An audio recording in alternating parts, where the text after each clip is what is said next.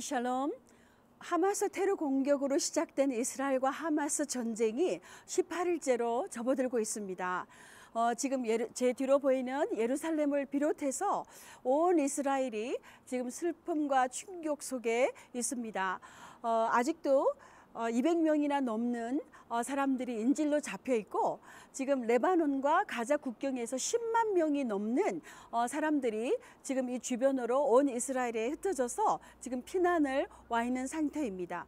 어, 저희가 가족처럼 지내는 많은 분들의 자녀들이 지금 현재 어, 복무를 하고 있습니다. 많은 여러 가지 도움의 요청들이 오고 있습니다. 어, 특별히 저희가 함께 그 지원을 하고 있는 어, 라삐 우리일이라는 분이 계십니다.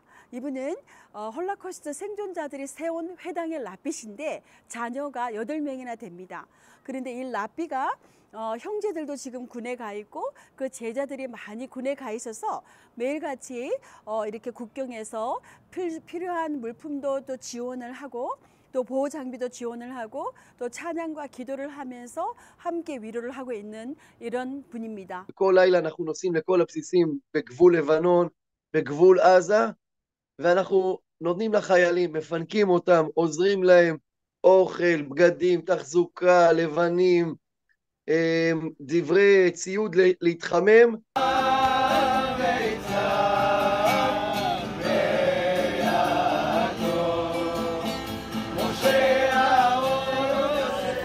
אני רוצה שלוש מילים רק להגיד, יצאתי מהבית כנסת ולהגיע למילואים, לא עברנו בבית בכלום, הדברים האלה ממש הם אה, אור ל- הנה, תראו, להמשך מה, יש השבוע יותר שלנו. מזה? יותר מזה? תודה רבה. אלוף. שבאתם. 이런 분을 통해서 또 저희가 함께 지원을 하고 있고요.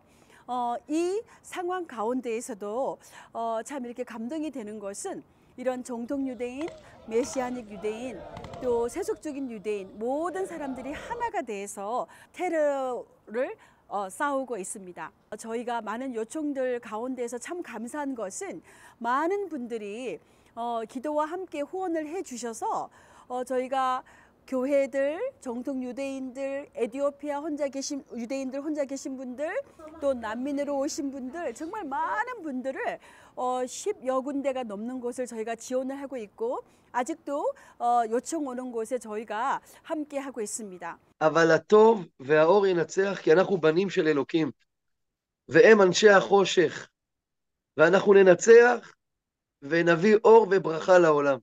I just want to thank those who gave the support, mainly Love 153, for sending us uh, some uh, donations that we will be able to give to those people hot food and blankets and everything they need.